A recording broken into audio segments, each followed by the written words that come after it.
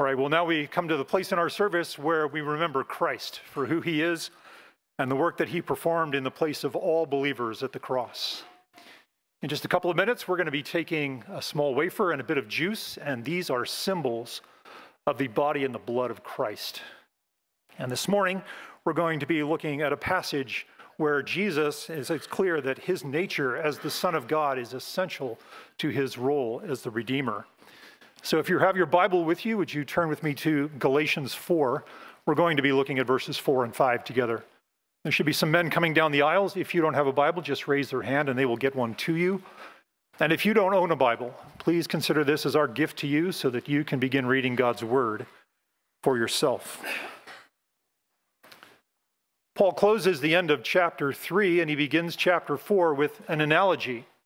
And the analogy is that of an heir. And we all know what an heir is. An heir is one who one day will take possession of something valuable. Uh, but before that day, and we see this in verses 1 and 2, the heir is no different from those who don't have an inheritance. He's exactly the same as them. He's of the same nature, he's governed by the same principle, he looks just like those who have no inheritance.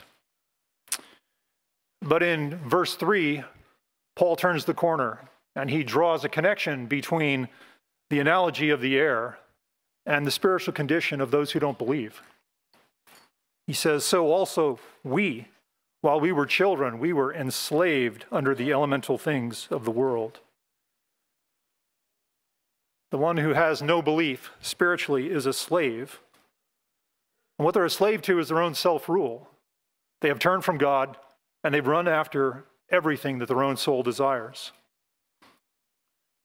But God is a reconciling God, and we see that in verse 4. God is the one who reconciles. He is a relational God who desires to reconcile sinners to himself.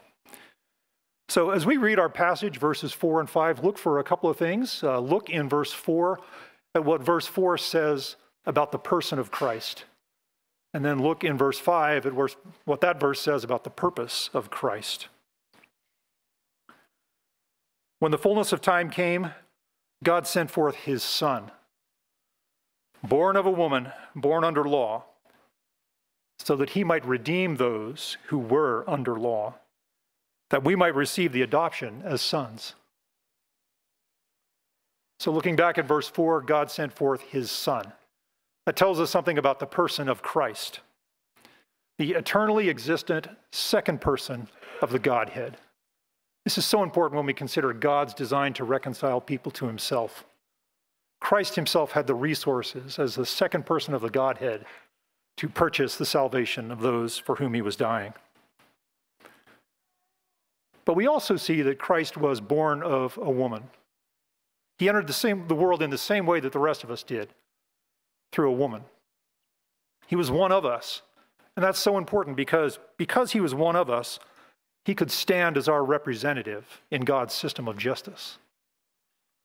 So here we have this one who is the Son of God on one hand and has every resource necessary to do the task in front of him. And on the other hand, he can represent those for whom he's dying. But the end of the verse tells us something else that's very, very important that we need to consider about Christ today as we remember him this morning. We see that. It says that he was born under law the reason why Christ was born under law was so that he could satisfy law. He could meet every condition of God's justice, every term of God's justice. This is so important because dating back to the Old Testament, God's system of justice demanded that an innocent sacrifice take the place of the guilty, and the guilty would go free. So Christ himself had to be born under law, and he had to keep every term of God's law, and he did. So we have Christ, he's fully God, he's fully man, and at the same time, he's fully innocent. He's fulfilling every term of God's law, and he is ready and prepared for one purpose, and that purpose is there in verse 5. It's so encouraging to the believer that he might redeem those who are under the law. Now, to redeem is to purchase somebody, it's to purchase a person away from the power of another by the payment of a price. That is exactly what Christ did. And this is not just an accounting term. There is real work involved here, real work on the part of Christ, Work was demanded of him as he hung on the cross, and that work was to satisfy the wrath of the Father against every single offense that was committed by every single person that would put their trust in Christ. That was a massive work that Christ performed on that cross that day outside of Jerusalem.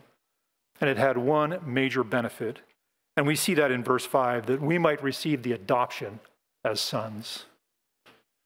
Adoption is part of God's design, it's an essential part of God's design. Adoption is the process by which a child permanently becomes a part of a family to which they don't naturally belong. Every one of us who is born of God has been born into his family. We are adopted into his family. We were not born in his family. This is what separates biblical Christianity from every other belief system in the world is that God rescues sinners and brings them into his family. And that is what he does. So that's the benefit. So this is God's reconciling character. He takes his only son, has him take on the form of human flesh, and meet every condition of his law so that God could use him as a sacrifice in his system of justice to die for those who would put their trust in him. If we keep reading, we see that God doesn't leave us wondering who these people are that Christ died for. Look at verse 6. Because you are sons, God has sent forth the Spirit of His Son into our house, crying, Abba, Father.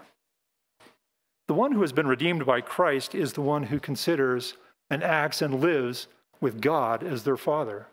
And there are two pieces to that there's a relational intimacy of a child and a father, a nearness and a closeness, so there's an understanding, there's a familial bond. So that's the first piece of it. But the second piece is equally important, and that is the one who cries out, Abba, Father, lives under the authority of that Father as it's given to us in the headship and the lordship of Jesus Christ. So this is you this morning. If Christ is your Lord, if he is your master, please join us in taking the elements. When they come to you, just take them and hold them and consider for a minute the person of Jesus Christ and what he did in your place at the cross. Consider his perfect life.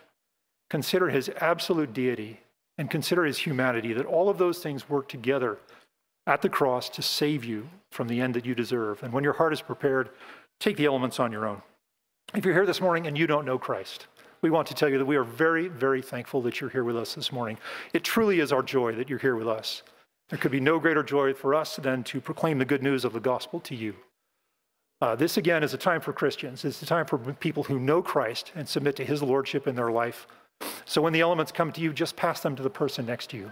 But take this time to consider that God has one method of reconciling people to himself, and that is through the person of Christ. At the end of our service, there will be somebody standing up here to my right they would love to talk with you, answer any questions you might have. They will have a Bible. They can open their Bible. They can pray with you about the good news of the gospel. But when the elements come to you, just pass them to the next person. Men, come and service, and I'll come back in a moment.